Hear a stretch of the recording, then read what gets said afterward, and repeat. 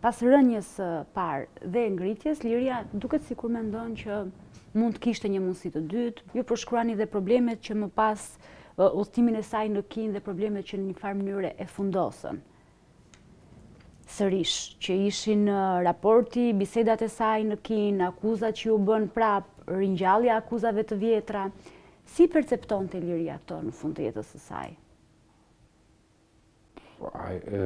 Besoj që do jetë dukur edhe më e tmerrshme se sa në se sa rënia e saj e parë.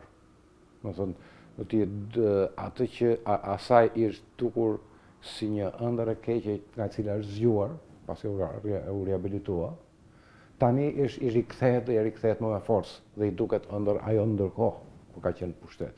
Mendoj se kështu e ka parë. Dhe në atë kohë, thotë Liria, herën e parë kishte një shpresë gjithsesi, sepse jo ishte Bashkimi Sovjetik, ishin, domethënë, që mund të ndryshonte, mund të ndreqeshin gjërat, kurse në 1961 nuk kishte më asnjë shpresë. Një prej pengjeve të saj më të mëdha ka qenë humbja së bijës. Po. për të cilën ajo akuzon ish-miqtë e saj në një farë mënyre, por fajëson shumë edhe veten. Në përgjithësi ajo ka fajësuar veten për sa kanë pësuar të afërmit e saj, familja, vëllezërit, që pati dy vëllezër në burg, Domethënë ajo e ndiente si faj, domethënë që pavarësisht që ishte regjimi që i bëri, po që gjithsesi ajo ka qenë pjesë e atij regjimi dhe mendoj që prandaj ndiente veten fajtor dhe për familjarët, për ato që po pësonin familjarët e saj. Ndërsa vdekja e vajzës 23 vjeçare, domethënë ka qenë Në atë kohë, gjëja më e rëndë për të dhe mendonte që dhe mbasi vdiq vajza, këto internimi dhe gjërat e tjera i dukeshin, i dukeshin vogëlsira, domethënë, s'kishin më rëndësi për të. Sepse kish njohur majën e dhimbjes. Po. Mund të themi, se s'mjaftuan këto internime dhe burgjet, po i ndodhi edhe kjo. Gjatë kohës që ajo njihte ngritjen e saj të dytë, kur diskutohet dënimi i Tuk Jakovës, ju keni zbardhur diskutimet që janë bërë dhe ajo propozon disa masa, por nuk arrin në ato masat ekstreme, të cilat i ka vuajtur vetë dhe do t'i vuajë vetë prapë. Nuk mendoj se tregohet e butë në dënimin e Tuk Jakovës dhe Bedri Spahiut. flet shumë ashpër për të dy, por flet është ashpërsia standarde e të gjithëve në, në, byronë politike, në komitetin qendror, në plenum. Dhe masa që propozon ajo është diçka më e butë, po jo shumë më e butë natyrisht, se ajo që jepet në fund. Dhe Në gjithë udhëtimin e saj, ajo është edhe një grua e gjykuar. Po i referohem disa momenteve që ka elemente aty që thonë s'mund t'ia lëmë partinë kësaj. A, po, në kohën e, në kohën e, kur u godit për herë të parë, që bëhen këto, mbasi Mbaron byroja politike, mbaron punën edhe komiteti qendror, atëherë bëhet kështu, si të thuash merret mendimi i bazës së partisë dhe bëhet mbledhje nëpër organizatat bazë, qarkore që i dërgon komiteti qendror dhe atje i japin mendime, domethënë e bëjnë mbajnë iso atyre që janë thënë lart, domethënë është pothuaj fund fundit është jehona e atyre që janë thënë lart, po me gjuhë të ndryshme dhe njëri domethënë dhe përdorin dhe shprehje vulgare kundër saj. Domethënë që dhe pse kësaj kësaj kjo donte ta merrte partinë dhe përdorin shprehje fyese.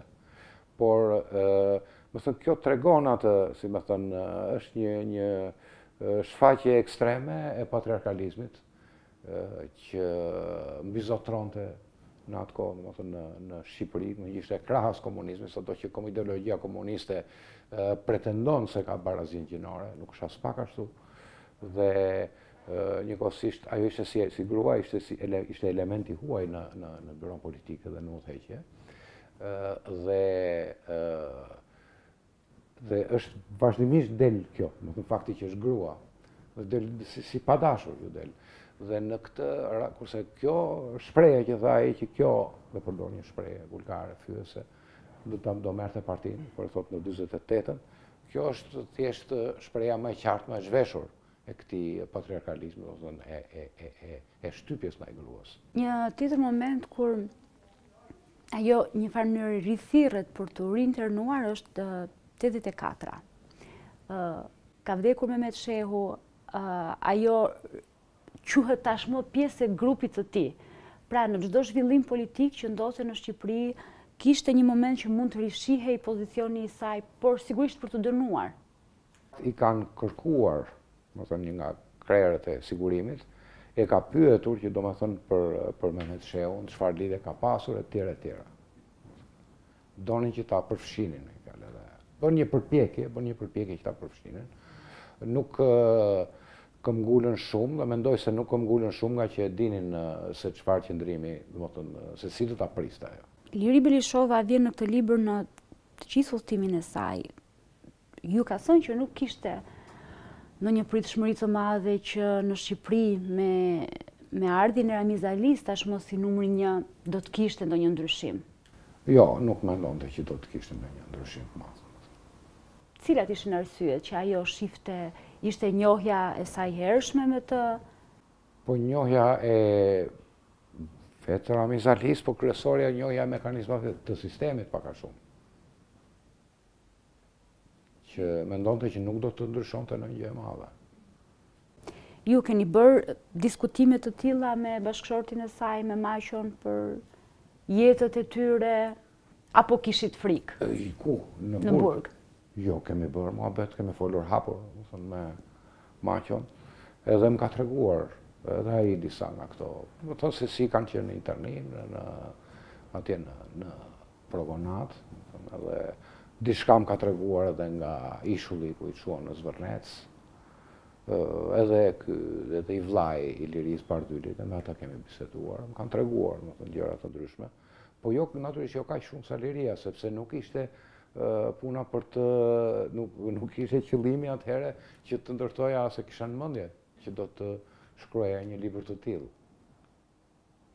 Këto ishin biseda të burgosurish, secili tregon tjetrit ndonjë gjë nga jeta e vet. Nga gjithë bisedat